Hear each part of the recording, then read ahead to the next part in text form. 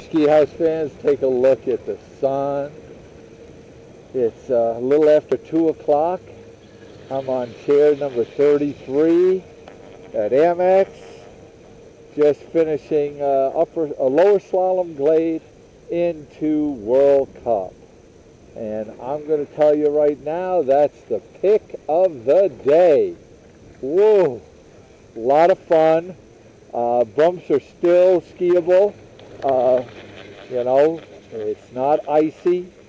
There's, uh, you know, a lot of good light, and it's not crowded. So uh, if you want to get your bump legs in shape, uh, get up here. Uh, it won't be long before uh, it gets real ugly, and you better be good then. So take it from the big man. The bumps and the lumps on lower slalom glade and World Cup are the pick of the day, and it's got the big man's heart pumping again at Stratton.